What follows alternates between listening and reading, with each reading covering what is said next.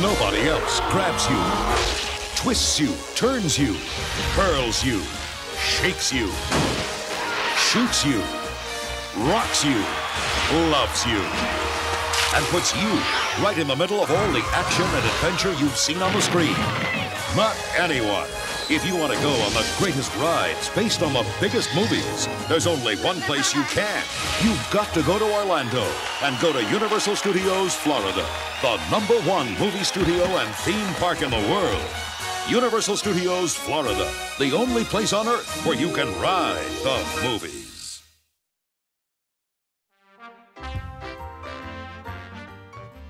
In spring of 2021, Universal Orlando moved its main merchandise store in City Walk to a new and larger location. This new store follows the trend of other theme park retail, sitting in a generic space that can be slightly rethemed when new seasonal merchandise drops. However, Universal decided to leave the store's former location intact, slightly retheming it instead to the Universal Legacy store. Walking in, this retail space acts not just as an opportunity to sell more retro merchandise, but also works as a celebration of the history of the resort. The content of the store itself is fascinating, using models and props to represent both current and past attractions. However, it is also a reminder of how different Universal Studios Florida was when it first opened in 1990.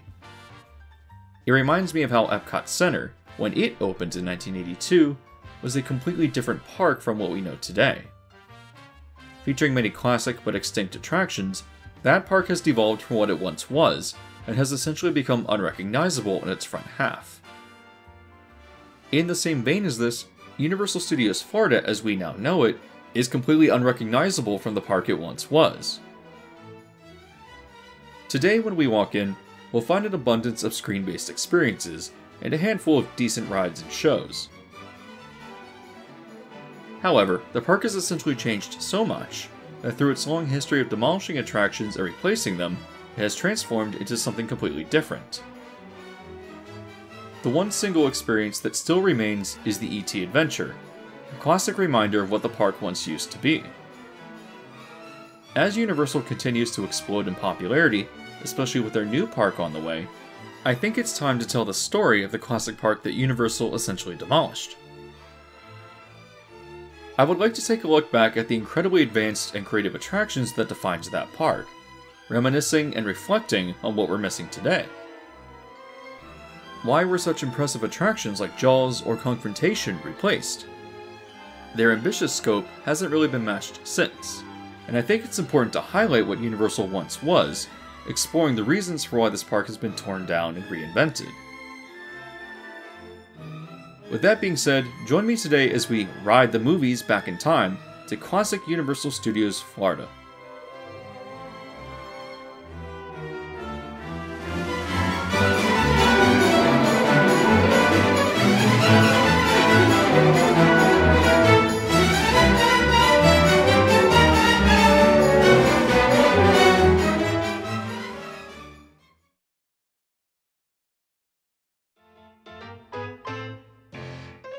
Carl Laemmle immigrated to the United States and settled in Chicago in 1884. As a young immigrant from Germany, Laemmle relied on working miscellaneous jobs and taking loans from his older brother, who had settled in the United States 12 years prior. However, after about 10 years of trying his hand at different professions and having become fluent in English, Laemmle spotted an opportunity and took the job of bookkeeper for the Continental Clothing Company, a retail chain located in Oshkosh, Wisconsin. While essentially an accountant, the job allowed him to try his hand at advertising, and having been successful in helping to create a strong brand for the company, eventually found himself in a cozy management position. Intending to use his saved money to start his own retail chain, he one day observed the popularity of a Nickelodeon and realized that the new moving pictures industry could be quite lucrative. Just a quick note for those who don't know Nickelodeons were the first movie theaters, showing short films for the cost of a nickel. The name is derived from the 5 cent admission price, in conjunction with the Greek word odeon, essentially meaning a theater with a roof. In 1906, Laemmle quickly moved to open his own Nickelodeon, the White Front, on Milwaukee Avenue in Chicago. He then quickly opened a second, called the Family Theater. Because the film distribution process was, to put it lightly, inconsistent and messy in the early days of the industry, Laemmle also opened his own film exchange in the same year. This allowed him to secure higher quality and more entertaining films without fear of them being poached by other theaters, in addition to opening up better communication channels with the producers. Of course, his services extended to other theaters as well, and by 1908, Laemmle Film Service had offices across the United States, becoming the largest film distributor in the country. His success undoubtedly came from jumping on the opportunity of a rising industry, but his advertising and marketing experience played a large role in this as well. By offering a square deal in contrast to the shady practices of other film exchanges, Laemmle's business gained a strong and trustworthy reputation. In 1912, Laemmle and a number of other independent film producers would found Universal Pictures, and Laemmle would later become sole owner in 1915.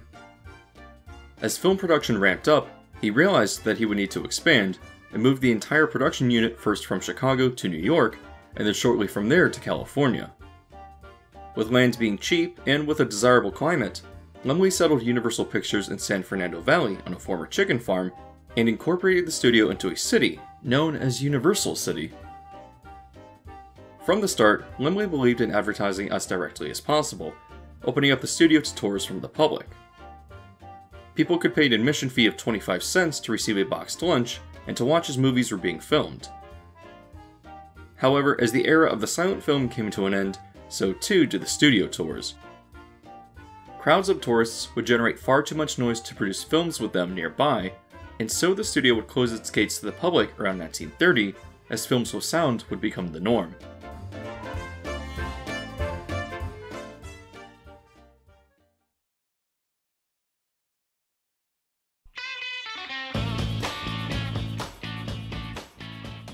For 30 years, the studio would remain closed to the public until 1961. With the rising popularity of television, studios in Hollywood had to find more creative ways to make money among diminishing returns on their films. Noticing the popularity of guided bus tours in Hollywood, Universal would outsource to the Gray Line Bus Company, where tourists would be treated to a script provided by the studio, highlighting the functionality of the campus and promoting new films. As part of the program, tourists would be dropped off at the commissary to help boost food sales at the struggling studio. However, Universal would really open the studio back up in 1964 with the introduction of the Glamour trams. For a fee of $2.50, visitors would tour the studio backlot on the trams and be entertained through a number of different demonstrations. This would include an exhibition of various movie costumes, a dressing room walkthrough, a movie makeup demonstration, and a small western shootout stunt show. As the tram tour continued to gain in popularity over the years, major additions would be added.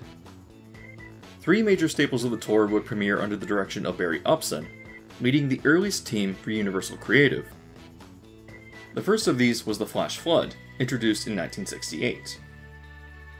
The tram would drive into a Mexican town, where the guide would make a demonstration of different rain and thunderstorm effects. Pretending that the effects went out of control, the scene is triggered, allowing water to rush down towards the tram and destroying the town. Another of these effects is the parting of the Red Sea, debuting in 1973 and draining part of Park Lake, allowing the tram to move down through it.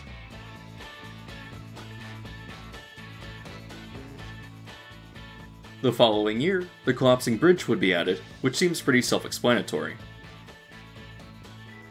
Various scenes would come and go over the years, but the first sign of life for Universal Studios Florida would premiere in 1976.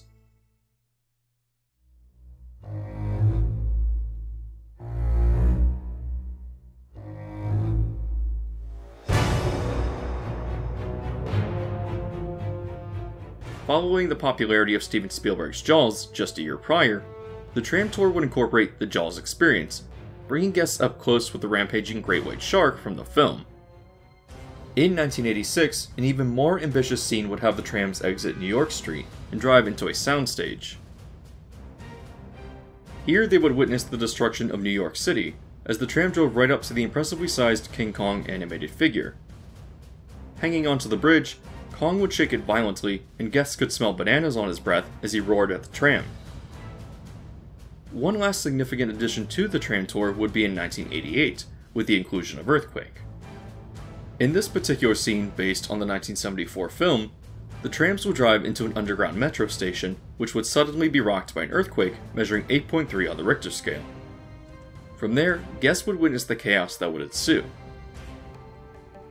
The tram tour was the main attraction for the studio, but as it evolved, other shows and attractions would be added to the lot as well, slowly evolving it into a full theme park based around movie production.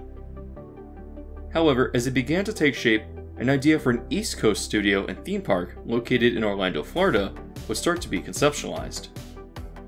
In 1981, Universal's parent company at the time, MCA, sent president of their recreation services to meet with executives at Paramount to propose a possible joint venture in building the park. Among the Paramount executives was the president, Michael Eisner. It appears that no progress was made in that meeting, as Paramount never committed to the project, but as many watching this know, Eisner would later be offered the position of CEO at Disney and would take the role in 1984. In the following year, Eisner would announce that Disney would be building their own studio park at Walt Disney World in conjunction with MGM, known as Disney MGM Studios. Including an alleged similar layout to the Universal plans and both tram and walking tours, MCA executives were furious to discover that Eisner had essentially stolen their park plans in an effort to snuff them out. However, as they had no partners to go forward on the project with, the wind had been taken out of the sails for the new Florida park. This would change when the Kong scene on the tram tour would premiere, showing MCA and Universal that a theme park was a viable competitor to Disney if done on a more ambitious scale. The Kong animatronic was also worked on by Peter Alexander, a former Disney Imagineer and college roommate of Steven Spielberg. Having invited Spielberg to the soundstage during the testing phase and having been impressed, Spielberg asked him to develop a new attraction based around Back to the Future. The story goes that as George Lucas had just finished with the development of Star Tours at Disneyland in 1987, he had teased Spielberg that Universal could never create anything like it. In an effort to prove him wrong, and seeing the technical capabilities of Kong, Spielberg not only helped develop Back to the Future as a major attraction, but signed on as a creative for Universal, giving them new confidence in going forward with the Florida park. While Universal Studios Florida would still be utilized as a working movie studio, also including a tram tour and bringing over various shows from the Hollywood park, it would also shoot for something more ambitious. It would take certain segments from the Hollywood tram tour like Kong, Earthquake, and Jaws, turning them into exciting and bombastic full-blown attractions. Running full speed ahead, MCA would partner with Cineplex Odeon Corporation to fund and announce the project in December of 1986. After three years of construction, Universal Studios Florida would open in 1990, just one year after the premiere of Disney MGM Studios.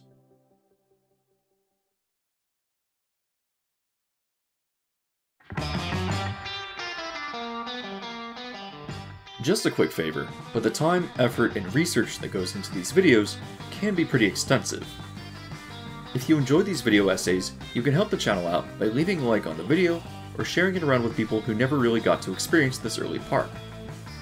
I also recommend subscribing if you like this kind of stuff.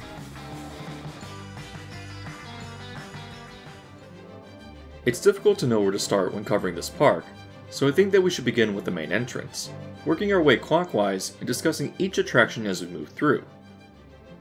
When we make our way to Universal Studios Florida today, we first have to travel through the shopping and dining district of Universal City Walk before making a right and passing the Universal Globe before entering the iconic archways of the park.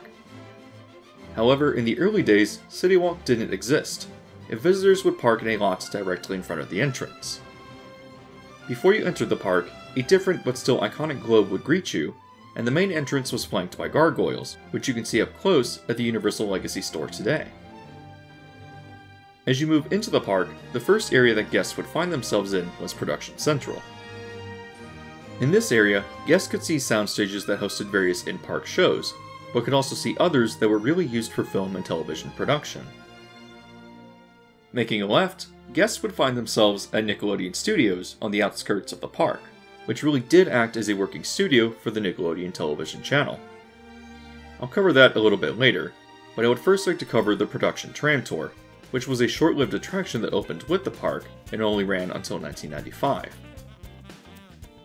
To experience this attraction, guests would board the tram right next to Nickelodeon Studios, and it would take them backstage alongside the working sound stages. The guide on the tram would highlight films and television shows that had been filmed there, before then circling back to the park and entering an area known as the Boneyard. Here, discarded movie props from famous films were on display. To give you a sense of bearing, the Boneyard was located where the Music Plaza stage is located today. From here, the tram would then enter either the New York or Hollywood sections of the park, changing the route depending on if there was any active filming going on. It was more likely that the tram would enter New York first, with the guide pointing out various attractions and listing out films that had utilized this area of the park for a movie set. I'm sure you've also noticed that the tram just makes its way through crowds of parkgoers, which I was surprised to find out about as well. Moving along, the tram passes a soundstage that hosted various shows and makes a right into Hollywood, where the tram guide continues to list film productions that use the various facades. Exiting Hollywood, the tram moves back through Production Central and drops the riders back off in front of Nickelodeon Studios. I think it's obvious why the tram tour didn't stick around, as it lacked the depth of the Hollywood version, spending the majority of its time trying to interrupt people walking around the park. While early Universal Studios Florida did also have its fair share of film and television production, though, the tram tour didn't really show you anything interesting other than the grey walls of the sound stages, making for what appears to be an underwhelming experience. Still, despite having some production going on, the park never really became the movie making center on the East Coast that it wanted to be, an issue that Disney MGM Studios encountered as well. In fact, the majority of production from Universal's Florida Park came from Nickelodeon Studios, which was allowed to move in rent free in exchange for public tours and promotion of the park on their channel. Out front, visitors would encounter the iconic Slime Geyser. Having been added a few months after the park had opened, it would shoot out water that had been dyed green. Guests to the studio would embark on a 45 minute walking tour, first taking Nickelodeon themed escalators up to the second floor. From there, the tour would take them to see various production elements like a central control room, it would also go through viewing areas where Nickelodeon game show sets on sound stages could be viewed. Walking downstairs, guests would see the wardrobe department and Gak kitchen, where one lucky kid would be able to consume some signature Nickelodeon slime. Finally, the tour would end in an audition room where kids could audition to participate in the shows being filmed, though as far as I can tell, this was oftentimes more for show rather than an actual audition. That being said, because Universal promised guests that they would be able to view a live production pretty much whenever they visited, and because that obviously wasn't the case, the audition room was later changed to a false game show titled Game Lab, where kids from the tour would participate and one of them would be slimed at the conclusion. Nickelodeon Studios, while popular in the first half of the 90s, would continue to decline in production due to corporate changes at the company, opting instead to move filming to sound stages located in California over the years. With this came the rise in popularity of Nickelodeon's animated series, turning away from game shows and effectively becoming the focus of the network. In 2001, with essentially no filming going on at this point, the Nickelodeon studio tour was shortened to a 10 minute walkthrough downstairs, with guests participating in an abbreviated version of Game Lab. The tour could not continue limping on though, and despite some half hearted attempts at reviving it, like giving the facade a new paint job, the final tour would be held on April 30th, 2005. Going through some minor construction and a new paint job, the former Nickelodeon studios would be removed from the park, now converted into a theater hosting Blue Man Group, and opening as part of Universal City Walk in 2007. From this point forward, the show would run until the shutdown of 2020, and now has been permanently removed.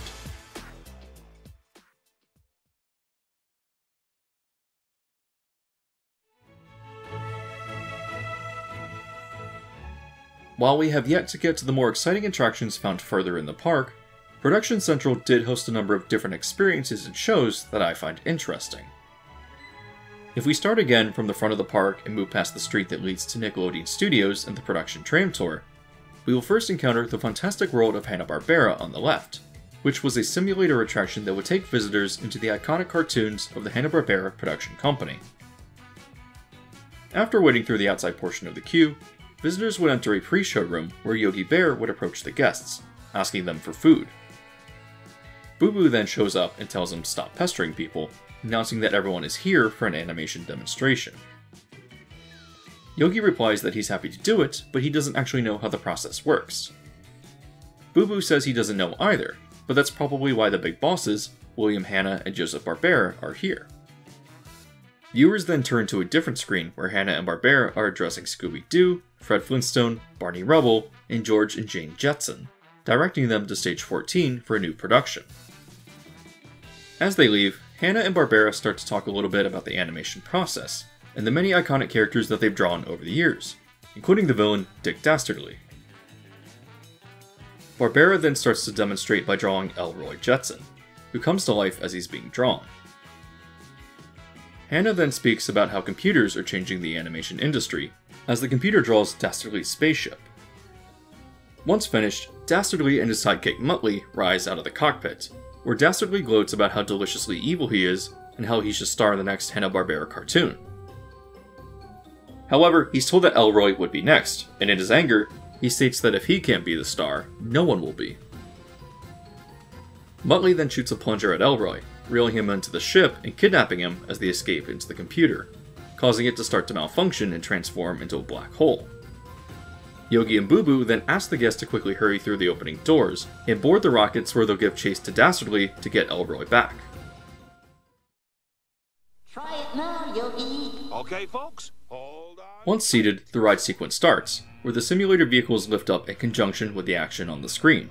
Say, Boo Boo asks how the rockets are powered, and Yogi replies that they're just going to be using a big rubber band, right as the guests are slingshotted through a portal to Bedrock. Catching up to Dastardly and Muttley, the rockets chase them through the canyons of Mr. Slate's construction site, before then encountering Fred Flintstone and entering the town. Yogi, keep your eyes on the road. Throughout the chase, a series of gags play out before then launching back into the sky and chasing Dastardly through another portal. Entering a graveyard, the Rockets encounter Shaggy and Scooby in the Mystery Machine, and then veer off to follow Dastardly into a haunted castle. Here, the riders encounter Shaggy and Scooby again, as well as some ghosts, before then crashing through a wall and entering another portal to continue the chase.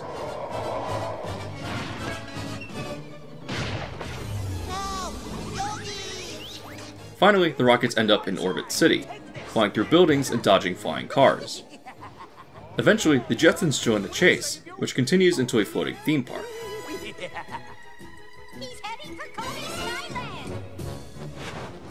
The rockets follow Dastardly onto a roller coaster track, the Jetsons attempt to recover Elroy and eventually succeed in doing so.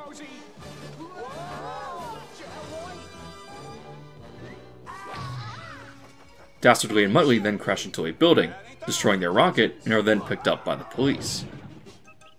The Jetsons thank the riders, and the rocket now flies back to the launch station and approaches for a crash landing.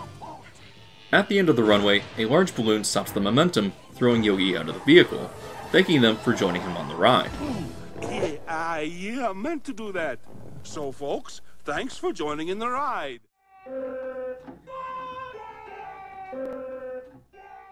As guests exit the attraction, they would enter an area where kids could meet with many of the iconic characters and could then play with a number of interactive exhibits. The Fantastic World of Hanna-Barbera opens with the park in 1990 and would continue running until 2002. In 2003, it would retain the same ride system but would incorporate a new film and open as Jimmy Neutron's Nicktoon Blast, working as a spiritual successor by having guests board rockets and following Jimmy Neutron through various Nickelodeon cartoons.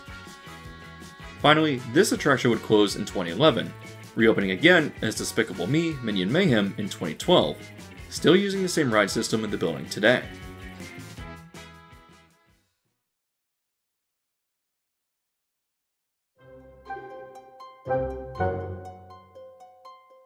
Across the street from Hanna-Barbera was Alfred Hitchcock, The Art of Making Movies, a show that highlighted filmmaking through the lens of the iconic director. Guests would first enter the building and see movie posters and props from some of Hitchcock's more famous films. From there, they would enter a pre-show room where guests were handed 3D glasses. Soon, a film would start, introduced by Hitchcock using archive footage of him and displaying iconic scenes from his most popular films. Suddenly, the screen would seem to tear apart, where crows would appear with a 3D effect, attacking the audience and lifted from the film The Birds. Once this portion concludes, guests are then moved into a theater for the main portion of the show. Inside the theater was a small recreation of the Bates Motel from Psycho, and a video would play, hosted by Anthony Perkins, the actor who played the murderous Norman Bates in the film. He would explain how innovative the film was for the time, using different camera angles and movements to convey the action of the knife to convincingly film the murder in the iconic shower scene. A stage in front of the audience would contain a set recreating that particular scene, and the show director would pick out an audience member to portray Norman Bates. From here, a recreation of the scene would play out, where an actress in a skin colored bodysuit would be murdered by Bates, and the footage would be spliced into other pre filmed shots to create a full scene. At the conclusion of this segment, Perkins would reappear and provide information on how the scene was shot in the original film.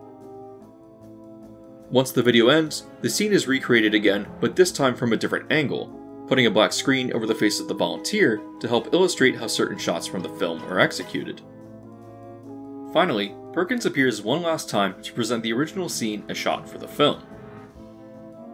Interrupted by a flash of lightning, the director is then chased by the guests dressed as Norman Bates, who then turns and stalks members of the audience.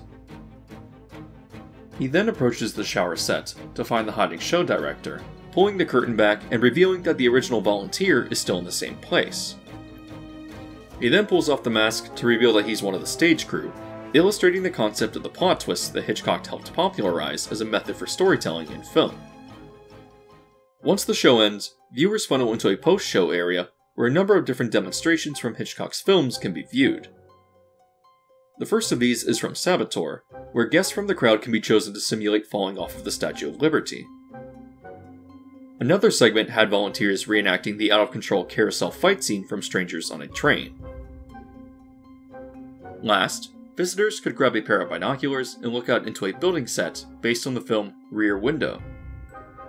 They would look out into the various scenes, attempting to spot a murderer before he spotted them. The post show area was also full of educational material, in addition to showing iconic clips of Hitchcock's films. While Alfred Hitchcock, The Art of Making Movies, isn't as well known as the more ambitious attractions that defined the early park, it still played a significant thematic role in that it went behind the scenes and showed visitors how certain aspects of filmmaking were pulled off. I also admire how it aimed to be educational, trying to highlight why Hitchcock was such an innovative director and how the methods he used in his films helped change the industry. The attraction would close in January 2003, gutting the stages and reopening the same year in May as the theater show Shrek 4D, which would survive until its permanent closure in January of 2022. Production Central would stretch down to the park's lagoon, with the building located there hosting an attraction based on the popular show Murder She Wrote. Known as the Murder She Wrote Mystery Theater, the show inside would showcase different facets of producing a television episode. The first room would have guests watch a short film hosted by Angela Lansbury, the actress who played the main character of Jessica Fletcher for the show. Here, she congratulates the visitors on becoming executive producers and lists out the roles that they'll play through the post production process. The next room has everyone travel into a studio, where a host covers how important editing can be to a final product. She plays a clip of a surprised Lansbury, substituting in different shots like a firearm or a kissing couple to demonstrate how powerful editing can be in recontextualizing a scene. A small clip then plays from a faux episode, in which Lansbury states that the killer forgot to clean the flour off of his shoes. The actress playing the editor cheekily states that the director forgot about this one too. To remedy this issue, the editor demonstrates how computers can be used to add in effects, like the flour on the shoes, to help fix mistakes in the editing process. Next, the show moves towards a sound effect or Foley stage, named after Universal's own Jack Foley, who helped pioneer how many sound effects were created for films.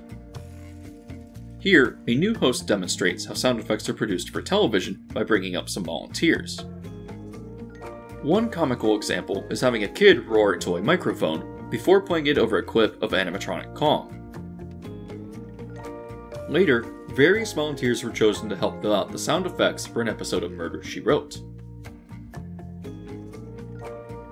From here, the show would move into a final theater, where its host would cover what happens with unclear dialogue. Here, volunteers are picked out to provide an auto dialogue replacement, which are segments of dialogue recorded by actors in post production. The volunteers are then given lines to read, which are finally edited together into the final product for the episode. Like the art of making movies, I appreciate how the Murder She Wrote Mystery Theater focused on production, but this time with television. While not a particularly exciting show, it was entertaining and educational for the viewers. Having opened in 1990 with the park, the attraction would close with the cancellation of the show in 1996, being replaced in 1997 with Hercules and Xena, Wizards of the Screen. This attraction will be based on two popular television shows, Hercules The Legendary Journeys and Xena Warrior Princess.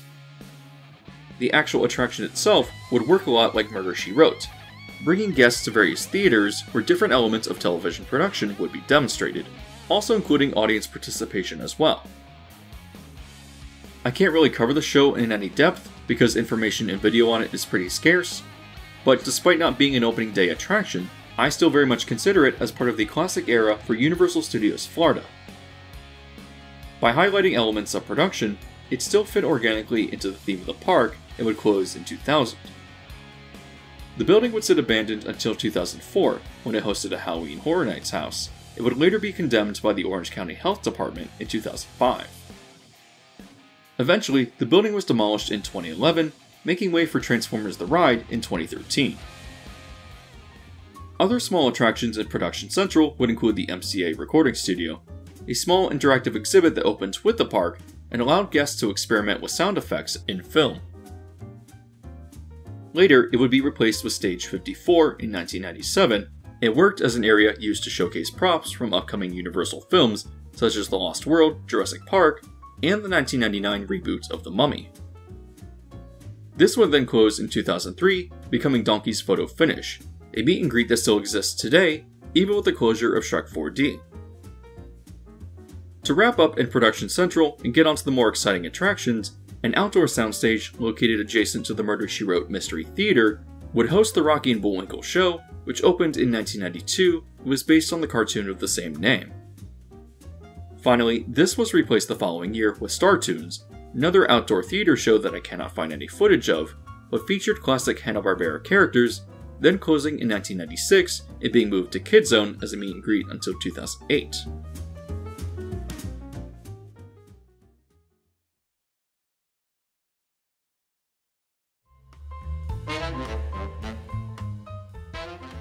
The next area of the park is New York, designed as a functional studio set when needed and historically hosting some of Universal's best attractions. The anchor e ticket for this area was Confrontation, an attraction designed as an expanded version of the King Kong Encounter from the Universal Hollywood Tram Tour. The facade of the building was designed to emulate Pennsylvania Station, a railroad hub for New York City built in 1910. As you enter the building, a news broadcast plays out over the speakers and televisions throughout the queue, relating that New York City is under attack by King Kong and that authorities are doing everything they can to evacuate residents and take down the monster. The lobby area then transitions into a New York subway station that's located right under the platform for the Roosevelt Island Tramway.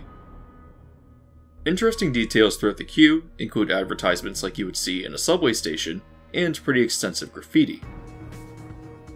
As you reach the ramps to go up and board the tramway, you can look out into the city streets of the 1970s and see some surprisingly detailed facades that reveal a level of commitment to immersing riders into the environment. I can't speak enough about how great this is, because there's elements out there that most people would miss but are still present regardless, acting as a true testament to how ambitious this early park really was. Moving up the ramps, the guests then reach the station, where they will board the tram suspended from the ceiling, each featuring a tram driver who would deliver exposition and help sell the ride experience. As the tram moves out to evacuate riders from the city, you can look down over the incredibly detailed city streets.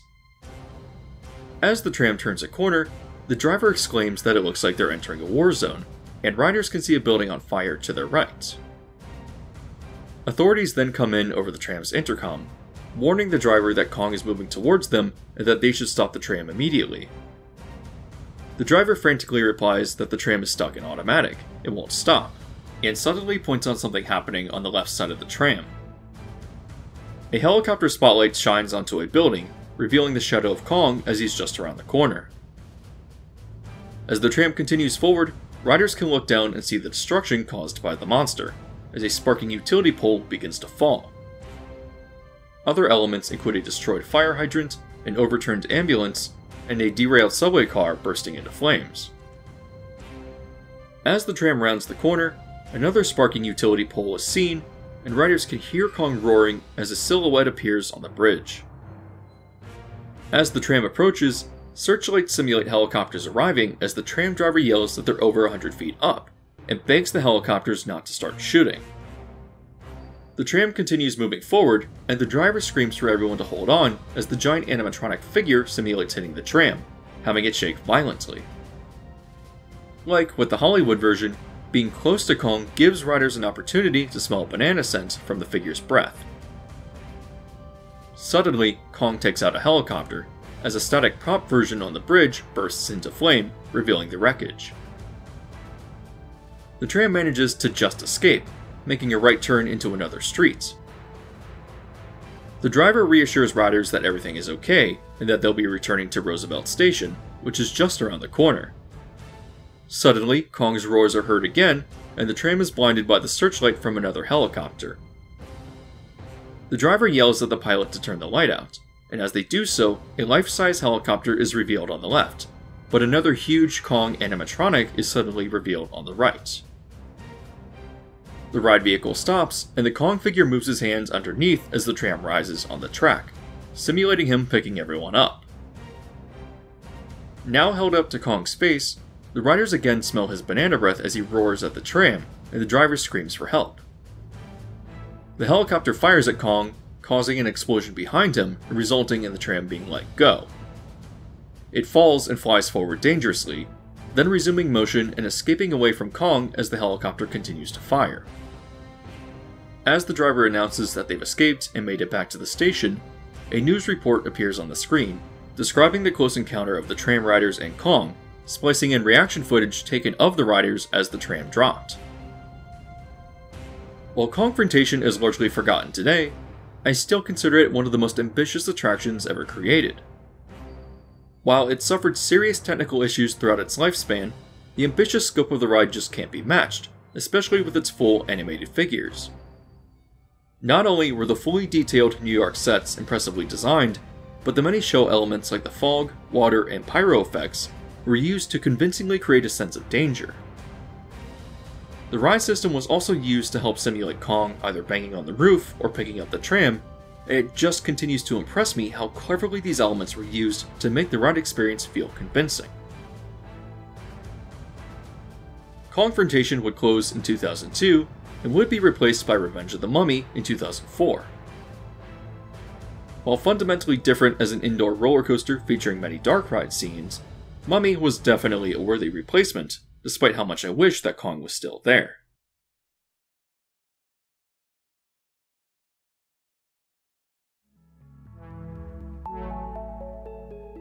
New York was also host to two other classic attractions, the first of these being Ghostbusters Spooktacular, an ambitious high budget show that opens with the park.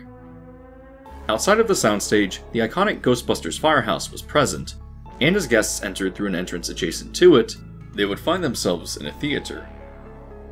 Once the show starts, a set recreating the Temple of Gozer would light up behind large glass panels, revealing a tour guide who would give exposition on the Ghostbusters franchise. Through this, she expresses how she doesn't believe in ghosts, and as she does so, Slimer appears behind her. Slimer and the other ghosts throughout the show are animatronic figures, portrayed as translucent through the Pepper's ghost effect, as they're located under the stage and are reflected onto the glass in front of the audience. As the host continues to provide exposition on how the temple scene was shot, she reveals a Twinkie on a platter that disappears as Slimer consumes it.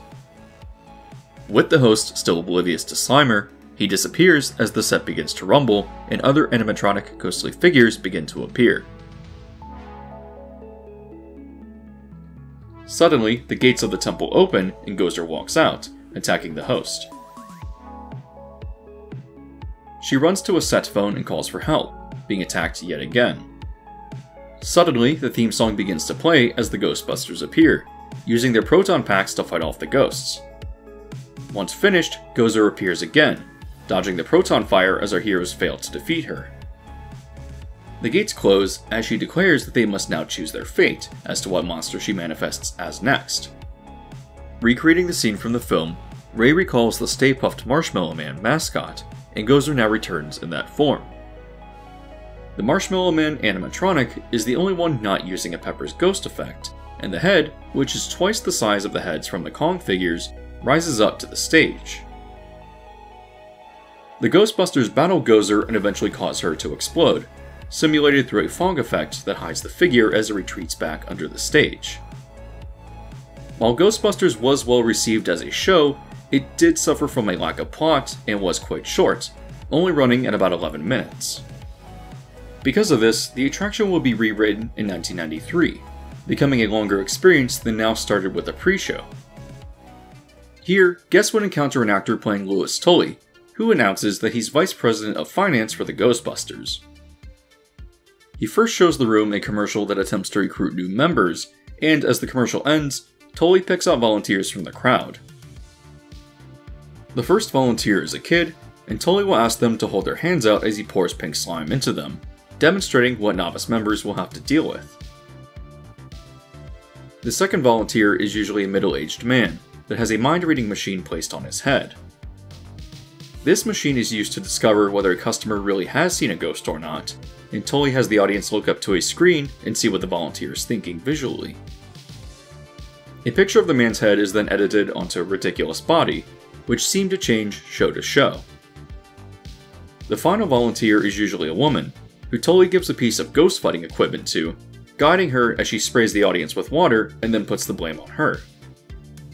Tully then instructs the audience to move into the next room, known as the Ectoplasma Containment Chamber.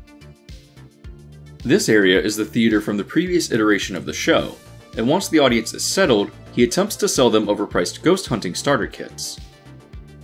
His presentation is then interrupted by Walter Peck, representing the Environmental Protection Agency, and stating that he's there to shut down the Ghostbusters for fraud.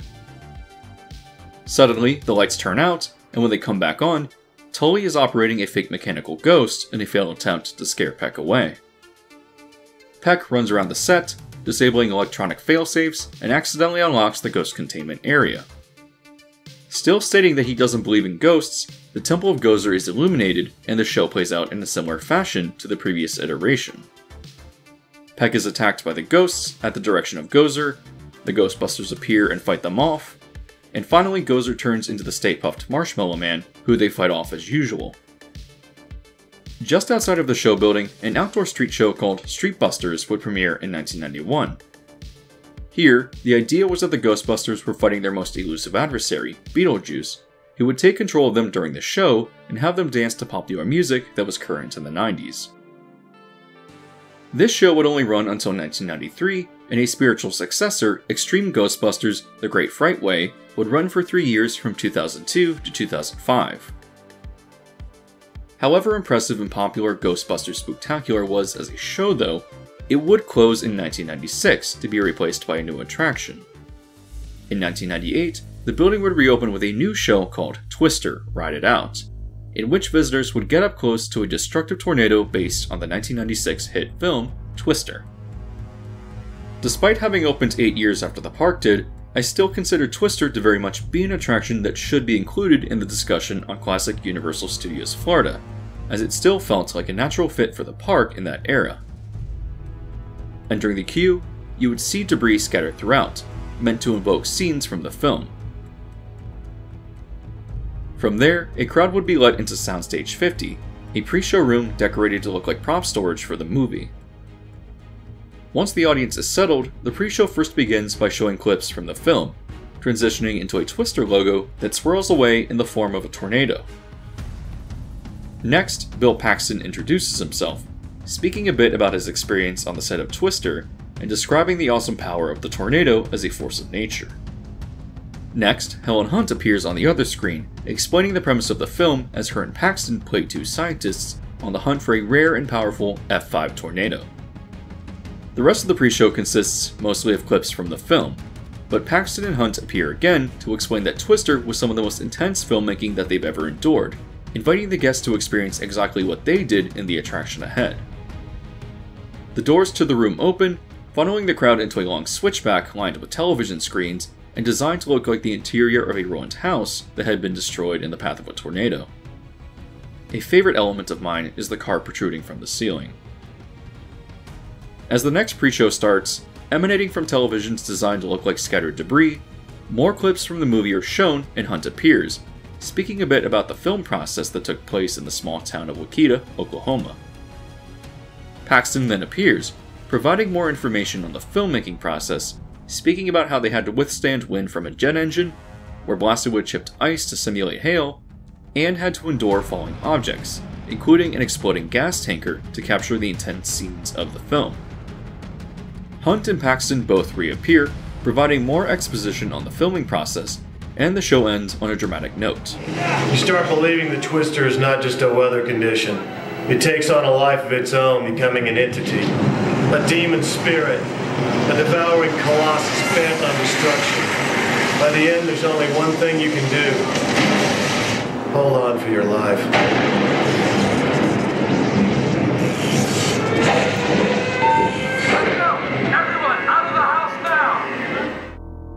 Having entered the theater, visitors stand in one of three tiered rows and look out into a townscape of Wakita as a news report and tornado sirens blare overhead. Once everyone is in the theater, a flash of lightning hits a tree and it splits apart to start the show. Meanwhile, a projected tornado is seen approaching the set as the wind picks up and rain effects kick in. Nearby, a family sheltering in the diner shines a flashlight around, yelling for everyone to get inside. The tornado continues to get larger as it approaches, finally reaching the set and manifesting as a practical effect. Everything begins to shake, with the utility pole shooting out sparks and lightning flashes illuminating the set. Suddenly, the sound of glass shattering from the diner plays as the audience is sprayed with water to simulate the effect of being covered in it. Next, the weather device from the film flies in front of the audience. Lightning continues to reveal the tornado, and the drive-in sign sparks as it's ripped off of its structure, crashing into a garage. The set continues shaking violently until a cow, carried by the wind of the tornado, flies by as it moves. The tornado continues to move closer, and the tin roof of the theater shakes to signify this. Suddenly, the parked truck is slammed into a gas pump, causing it to leak and eventually ignite from the sparks created by the impact. As the flame trail moves, it eventually reaches the tornado, which erupts into flame, and the roof of the theater crashes down towards the audience. A narration from Paxton comes on over the speakers, thanking the audience for surviving Twister and instructing them to leave on their left. As he does so, a flashlight shines from the diner, showing that the family survived. While the tornado effect was never really convincing, the attraction still managed to maintain a pretty intense experience. Even the pre shows, focusing heavily on clips from the film, would really just act as filler until the next show would reset. Still, they managed to do a pretty good job of setting a tense atmosphere and really building anticipation for the experience, even if the show itself was pretty short. Again, while Twister was not an opening day attraction for Universal Studios Florida, it most definitely fit the attraction style of putting visitors right into a disaster scene from a popular film.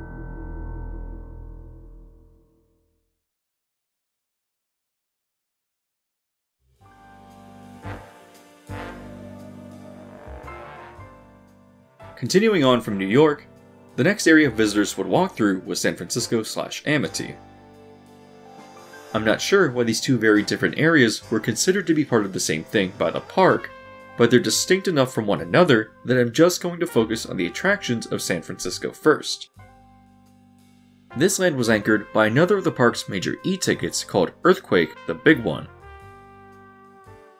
This attraction shares the most in common with its tram tour counterpart in Hollywood, as the ride experience is essentially the same. However, what makes it stand out is that the ride portion is prefaced by a series of interesting pre-shows. When walking into the building, the first room holds visitors in an area set up to look a bit like a museum. Looking around, various photos from the infamous 1906 San Francisco earthquake are on display. This extends even to the wallpaper as well. Once the room is settled, a casting director starts to recruit volunteers to help recreate scenes from the 1974 film Earthquake, which is a disaster film that takes place in Los Angeles. Once this segment of the attraction concludes, doors will open and the crowd will funnel into a theater, where they will view a pre-show that plays clips from the film. Eventually, Charlton Heston appears, the leading actor for the movie. In the pre-show, he provides exposition on how models were built and destroyed to create a convincing, large-scale earthquake effect for the film. At the conclusion to this segment, the screen raises to reveal a scale model portraying Los Angeles in the 1970s, with the casting director stating that this was one of the models used in the film and provides a little bit of information on it. From here, the crowd moves into the final pre-show room where scenes from the film will be recreated. Another small video will have Heston reappear, speaking this time about how matte paintings were used in conjunction with live actors to create convincing scenes for the film.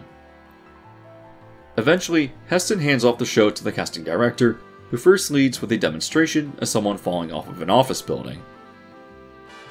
An assistant brings out a dummy to the top of the set, and a video in front of the audience shows what the scene looks like from the perspective of the camera.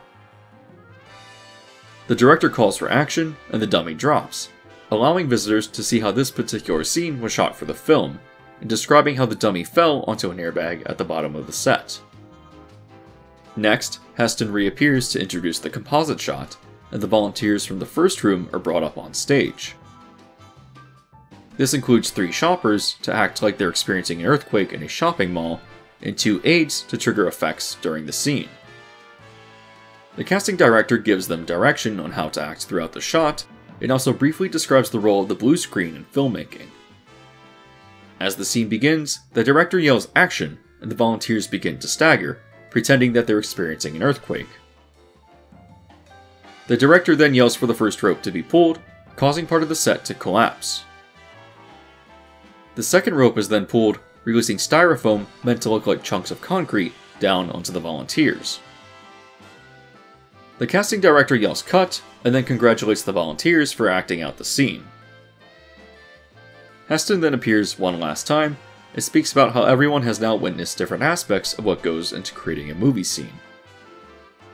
However, he now wants everyone to turn around and go through the doors behind them, stepping onto the set for a large scale disaster scene that involves a whole crowd.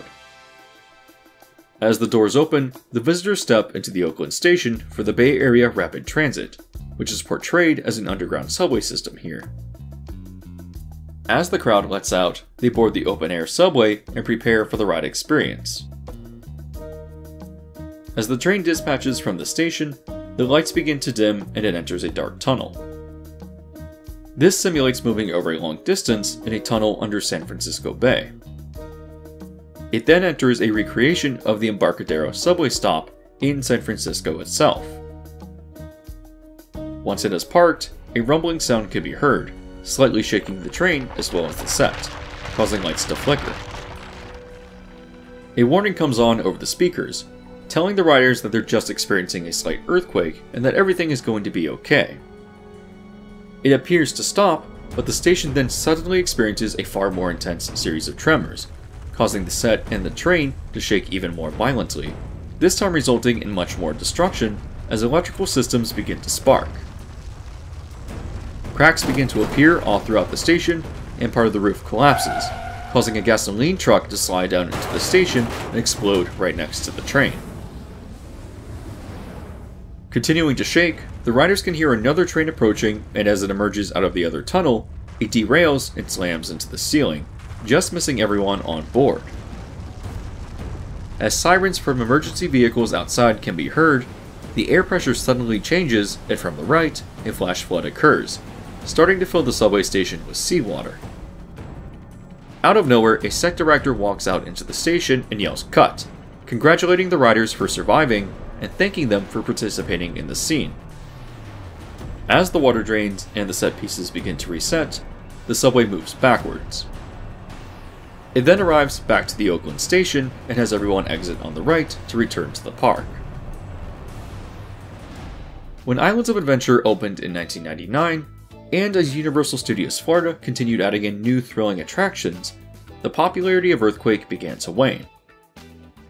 In an effort to revive the experience, Earthquake closed for a little over a month in 2007 and was rethemed into Disaster, a major motion picture ride starring you, opening in 2008. Keeping the layout of the building the same, this edgy retheme would take visitors into a fictional, high octane movie studio that specialized in disaster films. The first room where the volunteers are picked introduces the owner of the studio, Frank Kincaid, who is played by Christopher Walken. The second room, where the Los Angeles scale model used to sit, now has the casting director interacting with Kincaid, achieved through the use of a Musion screen. Here, it's revealed to the audience that Kincaid is an eccentric director who asks everyone to star in his film. Like with Earthquake, the next stage has volunteers filming movie scenes, but this time for some nonsense high budget disaster film. Finally, the room lets out into Oakland Station, where the ride experience is essentially the same as before, but this time with a director on the overhead screen instructing people how to react as the train moves through the tunnel. Once at the main set piece, everything plays out exactly as before, but this time with a more dramatic lighting package and no director running out into the set. Finally, as the train retreats back into the tunnel, a trailer for the new film plays, featuring Dwayne Johnson as a heroic park ranger, saving people from a series of worldwide disasters and splicing in footage of the volunteers from the pre show portion. I don't consider Disaster to exist within the spirit of the original era of the park, despite still reusing the same ride system, but I wanted to briefly cover its content because it will become relevant later. Having failed to revive the popularity of the attraction, Disaster would close in 2015, with Universal completely demolishing both the building housing it as well as the adjacent stage, then replacing it with Fast and Furious Supercharged in 2018. Speaking of the stage, it opens with the park as an American Tail theater, hosting a children's music show based on the animated film An American Tail Fievel Goes West. As a pretty underdeveloped show, it would close in 1992 and be replaced the same year with Beetlejuice's Rock and Roll Graveyard Revue, another show that focused on music.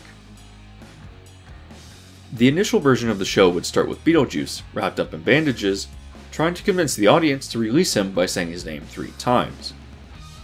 When they do so, he comes out onto the stage and steps down into the audience, interacting with them and telling inappropriate jokes.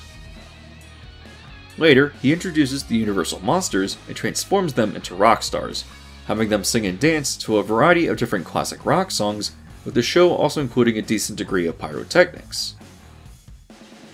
The show would remain popular and go through four different iterations until its last performance in early 2016, with the theater being torn down shortly after. While I didn't particularly care for it, the show did manage to remain quite popular with dedicated fans, and is very much a staple of the classic era for the park, even if its execution was rather simple in comparison to everything else that the park offered.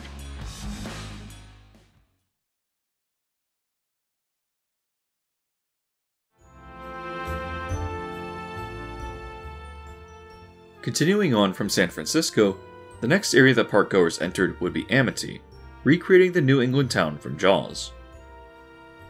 Based on the Jaws experience from the Hollywood tram tour, the premise of the attraction was that the events of the film really took place, inspiring Steven Spielberg to produce it. After the shark attacks, though, tourism decreased to the island, and in an effort to combat that, a seaman by the name of Jake Grundy would open a morbid boat tour that took tourists through the various locations of the shark attacks. While the attraction did open with the park in 1990, it did encounter a number of serious technical issues that resulted in it closing two months later. In fact, the technical issues of the ride were so bad that Universal actually sued the manufacturer and instead brought in a number of other companies that essentially rebuilt the attraction from the ground up, reopening in the spring of 1993.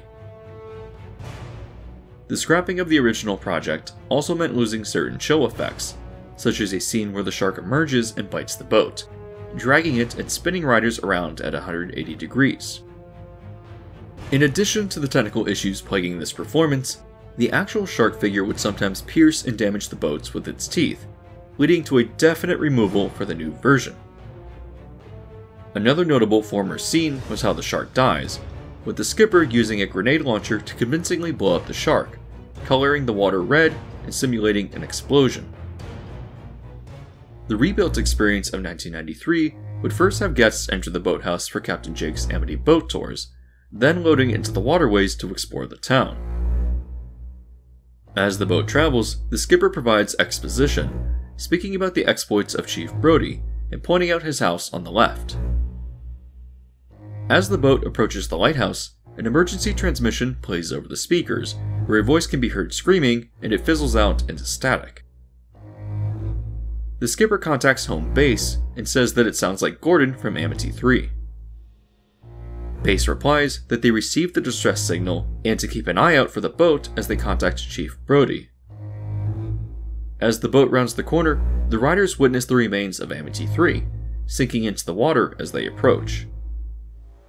Suddenly, the fin of a shark is spotted, spooking the visitors as it swims under the boat. The skipper then pulls out a grenade launcher, asking if it's actually loaded, and aims at the shark, missing it in the water. The skipper shoots a second time, misses again, and suggests driving into a nearby boathouse to reach safety as they wait for Brody. As the boat comes to a stop, a loud banging sound is heard from the back. As the skipper realizes that the shark is ramming the walls, they try to move forward, but the boat refuses to drop into gear. The walls start to shake as the shark continues ramming it, and then as the boat moves forward, the shark crashes through a wall and attacks the boat. Just narrowly escaping, the stunned skipper keeps driving ahead and is contacted by Brody, stating that he'll be there in 10 minutes. The skipper picks up the grenade launcher and looks to his right, just as the shark emerges on the left and attacks the boat again. Shooting the grenade launcher, the skipper misses and hits a gas stock, causing it to erupt into fire and eventually explodes. The skipper moves the boat forward as if to escape the fire by driving through it, but the fire dissipates as they get near. Continuing forward, the skipper announces that they're going to try to get everyone off at the nearest dock, when suddenly the shark's fin is spotted again to the left, swimming past a high voltage barge. In this new ending, the shark attempts to attack the boat, instead chewing into a submerged power cable and electrocuting itself. Finally, the now charged shark emerges from the water with what was apparently supposed to be a roasted shark scent being pumped at the boat. Not quite dead, the skipper shoots one last grenade at the shark and everyone escapes, with the skipper contacting Brody and letting him know that they all made it out just fine. On their way back to the loading dock, the skipper asks to keep this incident between themselves, hinting that it might not be good for business on the island. Despite continued technical issues throughout the years, Jaws would continue to impress visitors until itself and the Amity area closed in 2012, being replaced with the Hogwarts Express, Diagon Alley, and Harry Potter and the Escape from Gringotts in 2014. Still considered part of Amity for some reason, the area would also include the Wild Wild Wild West Stunt Show, which would premiere in 1991. As the Western Stunt Show for the early Hollywood glamour trams would evolve with the park, it would eventually get its own stunt show amphitheater in 1980. This Florida version was essentially the same thing, with the premise of the show being that of a Western stunt demonstration, hosted by two cowboys. Interrupted by a group of outlaws, the 20 minute show didn't really have a structured narrative, so much as it was a series of comedic, slapstick gags and stunts meant to entertain the audience. Some of these are actually pretty impressive because of how dangerous they were, and the show ends with an iconic set piece.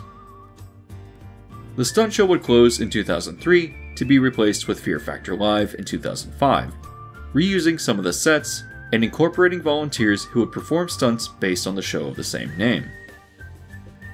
This attraction would continue running until 2020, It is quite odd that both shows were considered to be part of the Amity area, but at the very least, like with Beetlejuice, the Western Stunt Show leaves a popular legacy as an entertaining attraction that superseded the lack of thematic integrity.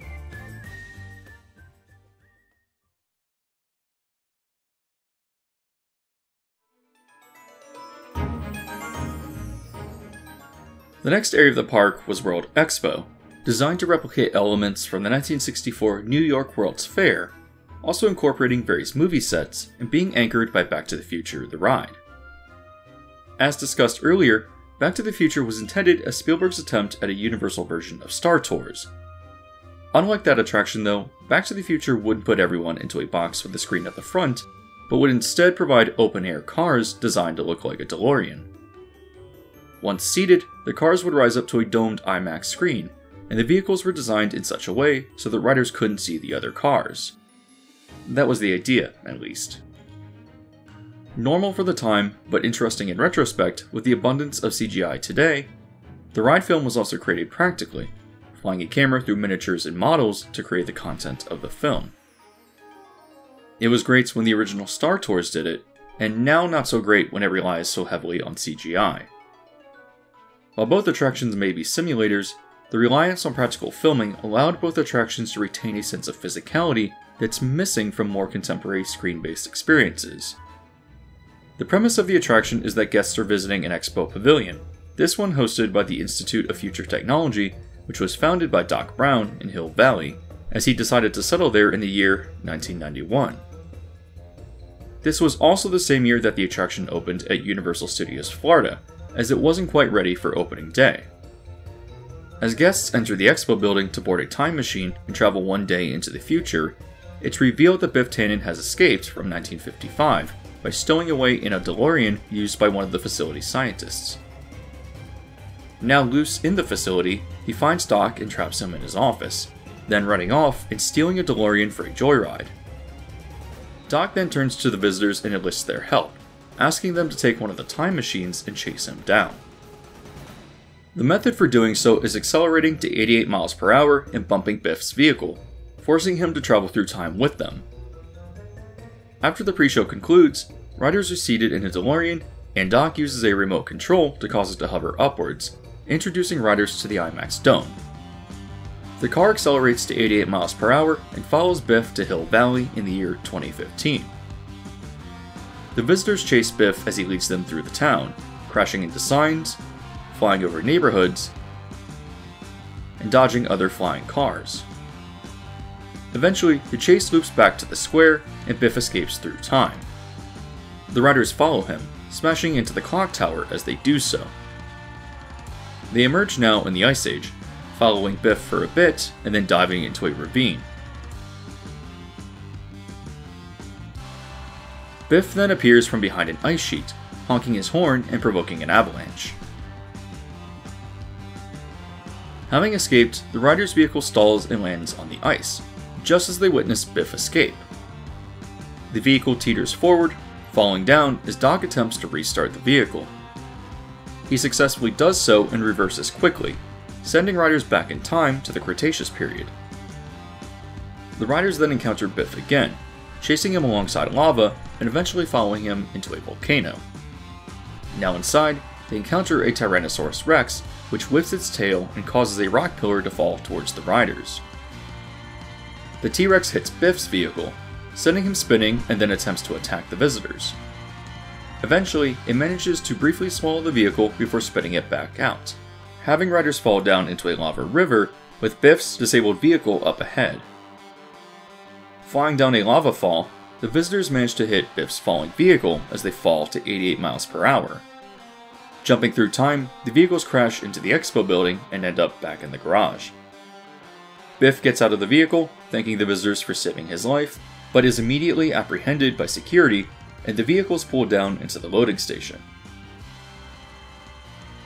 Despite some clunky transitions between shots, Back to the Future was well loved, but would close in 2007, being replaced by the Simpsons ride, which would open the following year. The nearby Back to the Future store and the International Food and Film Festival quick service restaurant would eventually be rethemed into Springfield, opening in 2013 to complement the Simpsons ride. Located between Back to the Future and the Western Stunt Show was the Swamp Thing set, opening with the park in 1990 and acting as the filming location for the show of the same name. It would be demolished in 1994, and the plot of land would remain empty until Men in Black Alien Attack opened there in 2000. One of the last attractions of the classic era for this park, Men in Black really helped to thematically expand the World Expo theme. As an indoor dark ride that took recruits through the streets of New York to fight off an alien attack using onboard blasters, the attraction was built with the hope of being large enough to spread out people among both parks, as Islands of Adventure had just opened the year before. However, because the premise is pretty straightforward, and because the attraction still exists today, I'm not going to cover it because most people watching are already familiar with it.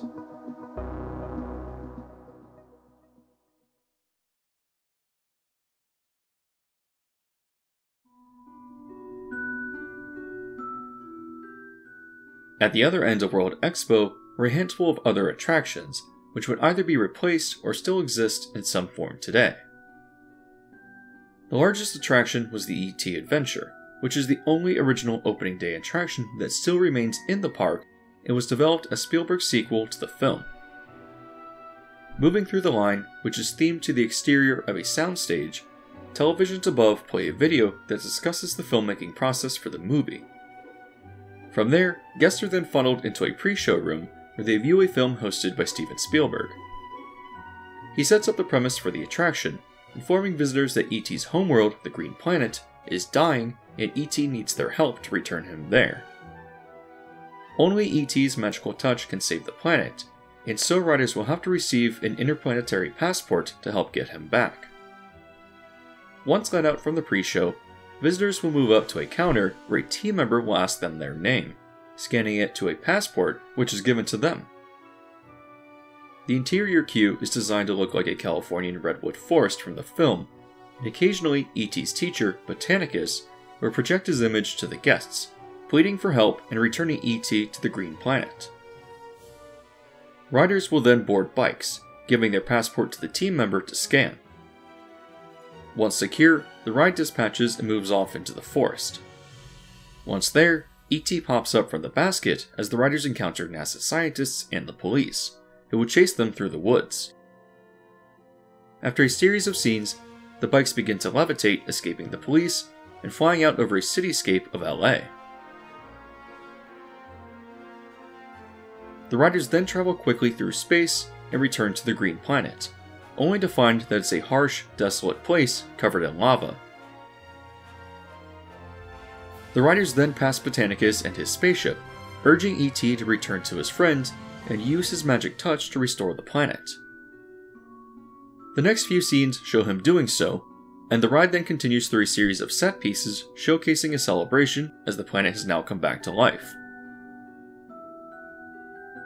Finally, riders encounter an ET animatronic who thanks them by name for helping him come home. Soon after, the bikes return to the station.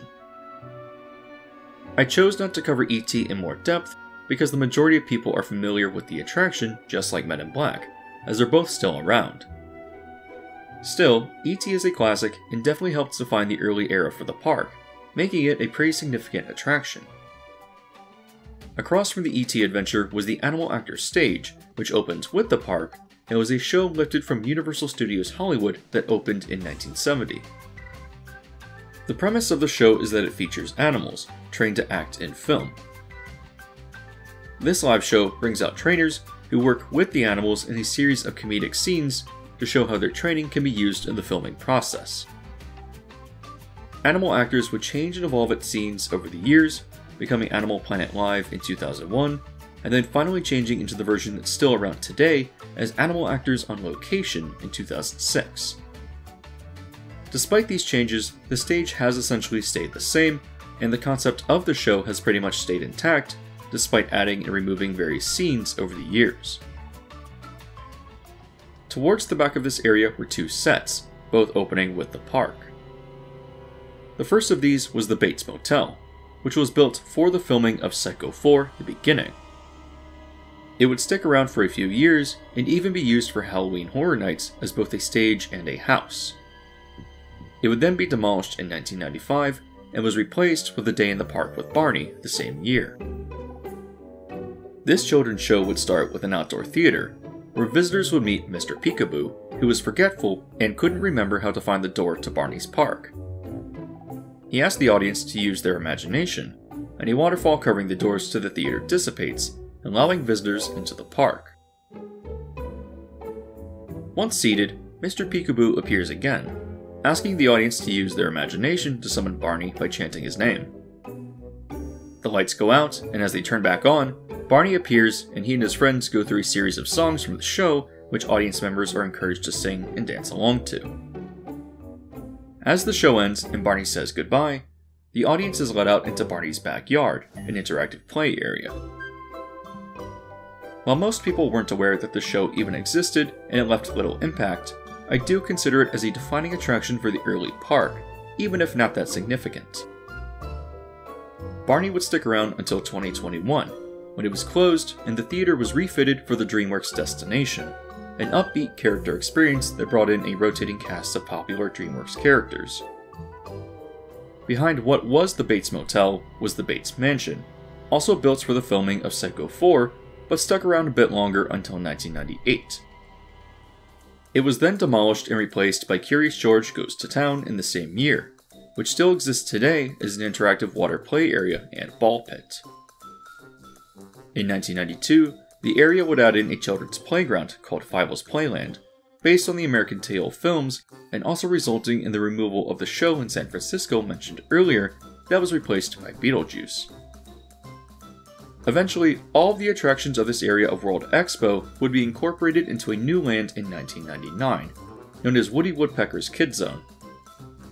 Woody was pushed by Universal in the late 90s to become a mascot for the company, just in the same way that Mickey Mouse was iconic for Disney. KidZone was part of this effort, in addition to adding in Woody Woodpecker's Nuthouse Coaster the same year, a small junior coaster manufactured by Vekoma. Obviously, while many people probably recognize Woody, he never did achieve the fame of Mickey and never became the universal icon that the company wanted him to be. Today, KidZone still exists as an aging relic, one that stuck in the late 90s, but still has its charm as it feels like stepping back in time.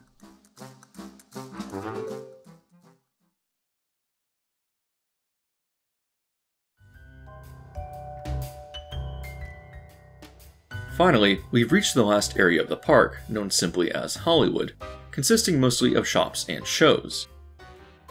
Ironically, Hollywood was always intended as the equivalent of Main Street for Universal Studios Florida, where guests would turn right and do their shopping.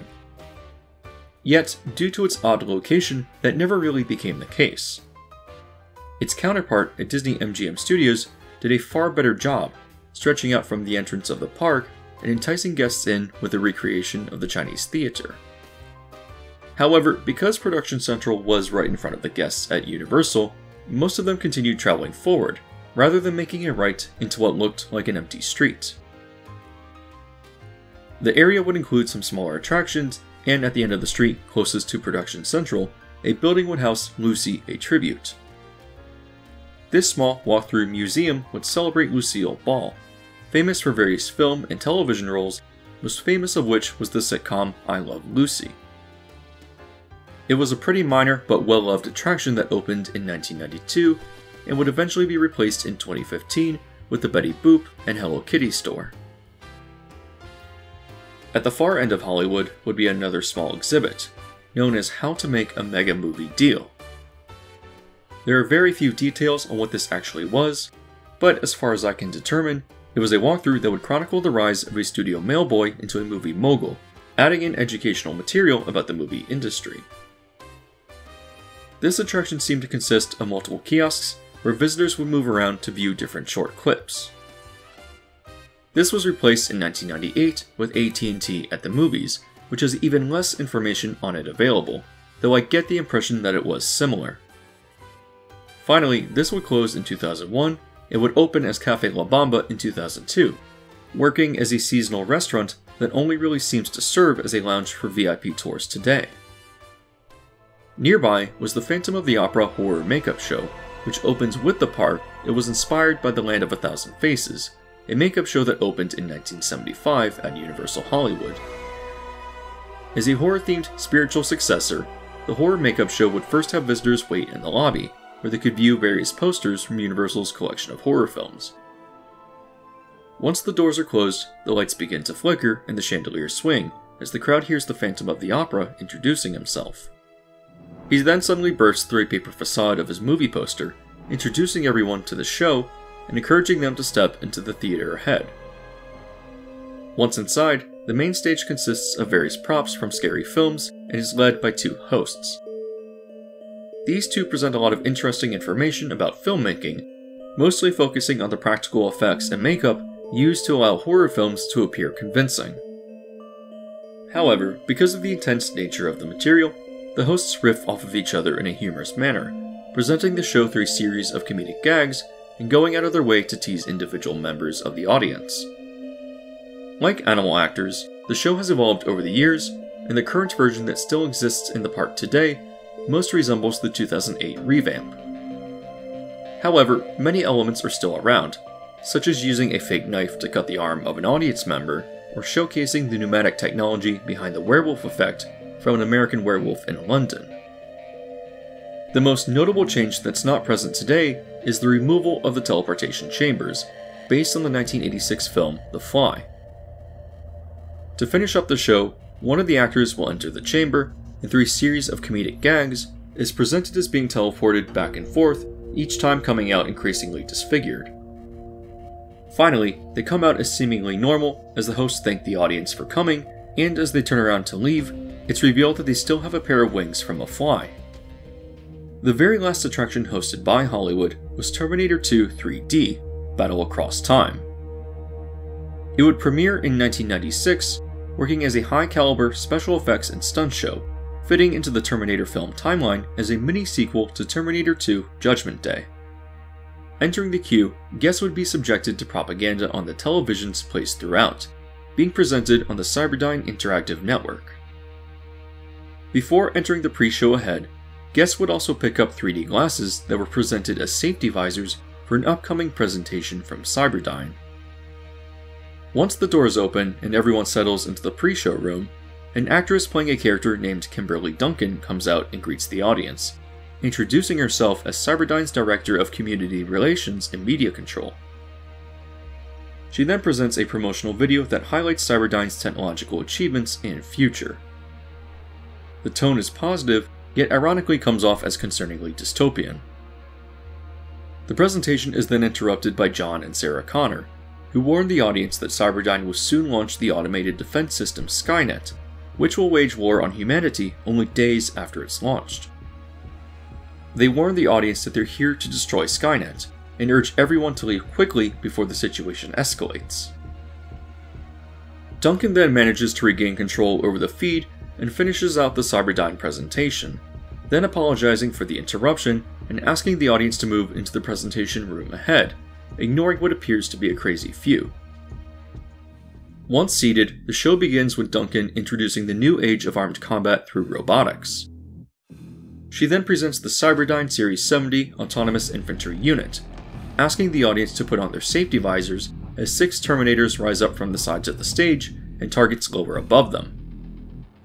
The animatronic figures are then asked to put on a demonstration and shoot at the targets across the room, effectively proving their capability. A security alarm suddenly activates as John and Sarah Connor rappel down to the stage. They then threaten Duncan, forcing her to deactivate the T 70 Terminators. From out of nowhere, the Cyberdyne logo turns into liquid metal, revealing itself to be the amorphous T 1000 Terminator, using the 3D effect to have it look around into the audience trying to find John and Sarah Connor. The figure then shrinks down and transitions into a physical actor who appears on stage. Seeing Duncan, the T 1000 walks over and strangles her as it attempts to reactivate the T 70s at the console. Before he can do so, however, a time portal opens and the reprogrammed T 800 Terminator rides out on a motorcycle, transitioning to a physical actor on stage. Using a shotgun, he fights off the T 1000 and tells John to come with him if he wants to live. Recovering, the T 1000 attempts to reapproach before getting shot by both Sarah and the T 800. They then ride back through the time portal and into the future, where they are once again followed by the T 1000. From this point, the show consists of a lengthy 3D film where John and the T 800 have to fight off a series of machines under the control of Skynet in order to infiltrate one of their factories. Once inside, live actors reappear, riding an elevator down into Skynet's central core, aiming to destroy it and thus the machines. After attempting to set up bombs around the facility, the security system known as the T-1 Million becomes alerted and starts to hunt John down. The T-800 manages to temporarily disable it, sending John back through a time portal to the present day, as it stays to set off a bomb and ensure that John continues to live. As the T1 Million explodes with fog and strobe effects, the audience is sprayed with water to convey its liquid particles falling down onto them. To conclude the experience, the actors playing Sarah and John stand under an image of the T 800, with Sarah reciting an epitaph, reflecting on how she owes her son's life to that of a machine, the Terminator. As a popular show and an extremely innovative one for its time, it would eventually close in 2017, being replaced with the Bourne Stuntacular in 2020, which is actually a pretty solid successor. To finish off a day at Universal Studios Florida in the 90s, the park would premiere with the Dynamite Nights Stunt Spectacular. Inspired by the Miami Vice show at Universal Hollywood, it took place every night at park close in the Central Lagoon. The premise was that a criminal organization was attempting to take over three key targets, which would be a cargo ship, a fuel platform, and a Texaco dock. This high octane stunt show would feature chases on boats and jet skis between the criminals and the police, engaging in shootouts and performing some pretty impressive stunt work. Other portions of the show would feature actors fighting up close, and there was also a fair number of dangerous but impressive pyrotechnic effects. The show lacked plot points, instead impressing its audience through the high energy choreography and stunt work. This show would run until 2000, and the lagoon would sit empty until 2006, when a new nighttime spectacular would premiere. This new show, called Universal 360 A Cinesphere Spectacular, was a bit underwhelming in comparison. The show consisted of playing movie clips from classic Universal films onto spheres placed throughout the lagoon, syncing water jets, lasers, and an underwhelming quantity of fireworks to the clips being shown. This show would only run until 2011, being replaced with two other shows over the years that were essentially the same thing. I'm surprised with how little Dynamite Nights is actually mentioned and how little information on it exists, as it appears to actually be a really impressive show. If the current park wants to really step things up, a return to a stunt show like this would actually be great. Now having covered all of the major experiences that define the classic era for Universal Studios Florida, let's now reflect on what made these attractions so great, and explore why most of them were eventually replaced.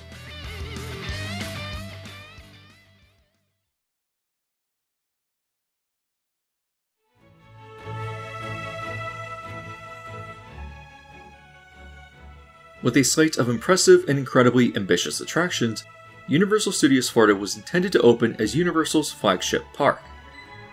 While it is true that Universal Studios Hollywood certainly has the history and still works even today as an active movie studio, it was never competitive in the theme park industry to the same degree that the Florida park was intended to be. In fact, with as ambitious as Florida was, its opening was an absolute disaster. Parkgoers would show up for this brand new and exciting experience, only to find that the attractions they wanted to ride were down all day. Power outages in the park would shut down Kong and Earthquake, faulting out their computer systems and keeping them down most of the day. Jaws 2, which never really worked from the start, would disappoint visitors by not being open. Elsewhere, people would encounter long lines in a park that still needed additional experiences to really meet capacity demands. However, with the introduction of Back to the Future the next year and aggressively opening new shows and experiences, the park did manage to capture the attention of Florida visitors, arguably working as a better experience than Disney MGM Studios. Going full speed ahead, Universal Studios Florida proved to the company that they were a viable competitor, and quickly worked to build Islands of Adventure and convert the rest of their land into a multi day resort. However, the park continued to experience serious issues through what was its best era, though. The ride system on Kong was extremely unreliable, and many of the pyrotechnic effects never achieved what they were supposed to be. Throughout its life, Earthquake continued to be a mechanical headache, and we already covered the many issues of Jaws. In addition, both parks would continue to see declining attendance with the hit to the tourism industry post 9 11, resulting in some desperate attempts to bring people back in. From 2003 through 2012, Universal would enter an odd stage, where it premiered a slate of edgy attractions that focused on more contemporary intellectual property that never really delivered. Kicking off this era, the first of these attractions would be Jimmy Neutron Nicktoon Blast, and while not bad per se, it seemed to lack the charm of Hanna-Barbera. Opening the same year was Shrek 4D, which just wasn't that good, even if I like the source material it's based on. Another issue would be replacing Back to the Future with the Simpsons ride in 2008, which really seems like a miss to me. I understand that the video portion for Back to the Future was looking quite dated at that time, but the actual franchise manages to retain a classic quality that The Simpsons never has, even if the show continues to remain popular. It also helps that Back to the Future was a much better attraction than The Simpsons, which doesn't really deliver. 2008 would also see the premiere of Disaster, shoving in a distasteful overlay and a poor attempt to revive the earthquake experience. Finally, the park would open Hollywood Rip Ride Rockit in 2009, an underwhelming coaster that contains elements that are downright unpleasant to experience. Perhaps it's just personal opinion, but the inclusion of the annoyingly stale song selection has always felt like a ripoff of Disney's Rock and Roller Coaster, leaving the ride standing as a symbol of desperation to me. I know that a lot of people who watch my channel disagree with my hatred for Rockit, but I think it's a truly awful coaster. However, the resort would see a significant attendance boost with the opening of Hogsmeade and Harry Potter and the Forbidden Journey in 2010, really turning things around. When Comcast purchased NBC Universal in 2011, they then pushed the parks in a different direction, really aiming for more current IP integration, but doing so with heavily screen based experiences in order to save on ride maintenance costs. The first attraction of this era would be Despicable Me Minion Mayhem, which opened in 2012. The last true attraction that fit into the classic era for the park was Revenge of the Mummy, which replaced Confrontation in 2004. I know that it overlaps with Jimmy Neutron and Shrek, but it's the last attraction to really embrace the studio aspect and continue the idea of having visitors actually ride the movies. For as great as confrontation was, Mummy also very much feels like a worthy replacement as well. To reflect on all of this, I very vividly remember the classic era of Universal Studios Florida. It was a thrilling experience that brought you right up to monsters and natural disasters. It was a place where the smell of propane from the pyrotechnics filled the air, and it was a park that wasn't afraid to shoot for expensive and ambitious attractions. While I never experienced many of the shows that I covered throughout the video, I also appreciate the dedication to educating audiences on the filmmaking process, making it a series of entertaining experiences. With that being said, I understand why so many of these classic attractions had to be demolished and replaced, as they lacked the mechanical integrity to keep them running long term. As much as I wish that many of these attractions were still around today, they simply just didn't draw in enough people to keep the profitability of the park stable either. Instead, the new Comcast era, replacing the older attractions with new ones, has seen pretty significant success, even if there's quite a bit of vocal criticism over the over reliance on screens.